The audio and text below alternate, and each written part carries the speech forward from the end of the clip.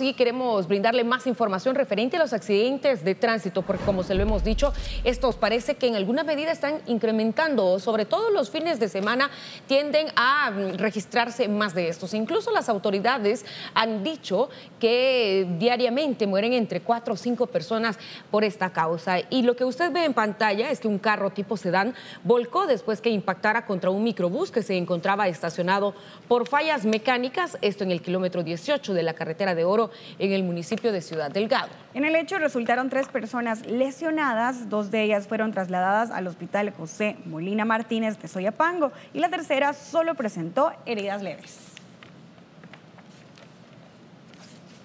Después nos iba, cuando, cuando yo hacía mate con los jóvenes, nadie paraba, nadie me hacía caso de parar ni nada, y yo por mí no me metía, y yo de repente venía el carro allá y y este que venía aquí, entonces dieron y tiraron el carro para allá me aventó a mí el carro y me golpeó todas las manos. Si me agarra allá para acá y me la matado, pues me agarró cuando pegó en el micro y rebotó.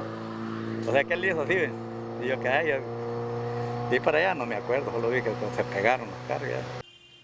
Y un segundo accidente ocurrió en el Boulevard del Ejército. Las autoridades hacen un llamado a la población a manejar con mucha responsabilidad. Recuerde que una de las principales causas de los accidentes de tránsito es la distracción al volante y esto puede ocurrir en cualquier instante. Por, ejemplo, por eso lo más importante es que usted maneje con mucha responsabilidad. Esperemos, Jennifer, amigos televidentes, que esto no se vea incrementado ahora que viene la época navideña y el fin de año, puesto que esto suele ya que muchos tenemos vacaciones, días libres y también aprovechamos para visitar amigos y familiares.